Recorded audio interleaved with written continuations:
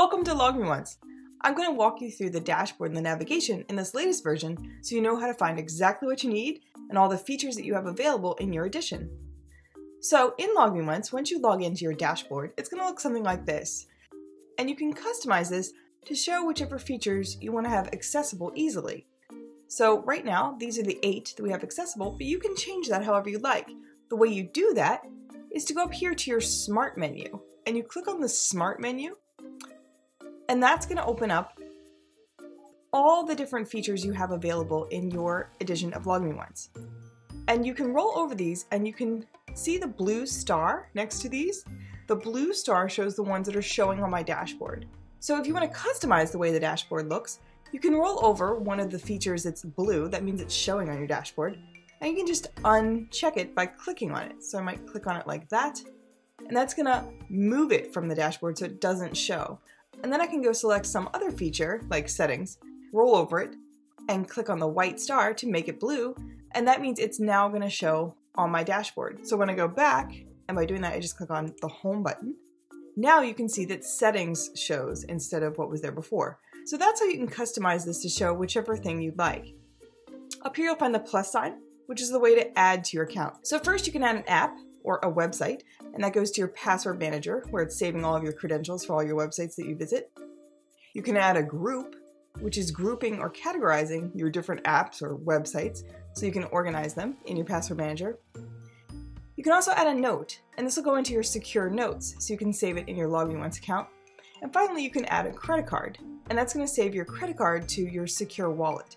And that way you can surf online with your credit card information being encrypted so you can shop safely.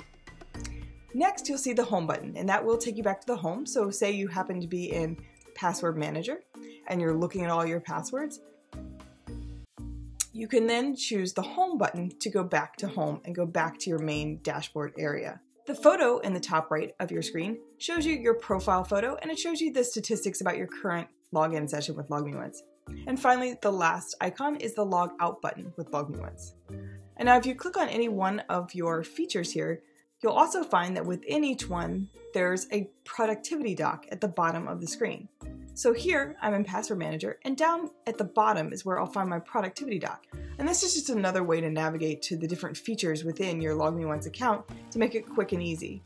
A neat thing about Log Once, as you're getting used to it, is that when you're logged in and you're looking at your productivity dock, on the right side you'll find the tutorial, and this can guide you to whatever you want to learn about in the particular section of Log Me Once that you happen to be using and you'll find your settings, device manager. You know, as you scroll over these, you'll see all the different features. And that's just a quick way to get where you want to go.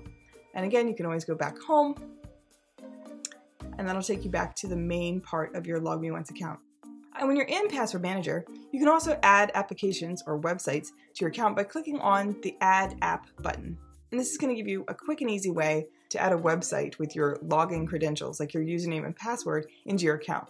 And you would just name it whatever you would like to name it, you can then choose the group. You created your groups to group it if you'd like. You then type the URL of the site that you want to access, your username and password, and click on Add App, and that will save it here into all of your different applications in your password manager. If you scroll over this, this is your view. So you can view these as extra large icons, medium icons, small icons, or you can show them as a list, or you can show them as a detailed view. You can also go to your sort button. And this sort will allow you to be able to sort all of your applications by their name or by the last application used or by the most used or by password strength. For instance, seeing which one has the strongest passwords and which one have the weakest passwords so you can change those to be more secure. So this just helps you to be able to sort your websites and applications in whatever way makes the most sense to you. I'll go back to the large icons. When I'm in the Password Manager, as you scroll up here, you'll also see the different tabs. So I can choose one of these tabs, and that just helps me to be able to view whichever apps or websites that I have in that particular category. So I hope you like this video, walking around the dashboard and the navigation in Log Me Once. Please subscribe to our channel to find out more tips on how to keep yourself secure when you're online and how to use passwords without them being a hassle. And I look forward to seeing you in another video. Thank you for watching.